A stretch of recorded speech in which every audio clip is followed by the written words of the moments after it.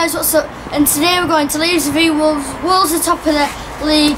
Score prediction, I think it'll be 2-1 Leeds. Harry?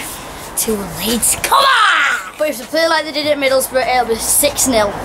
Come on, Leeds! We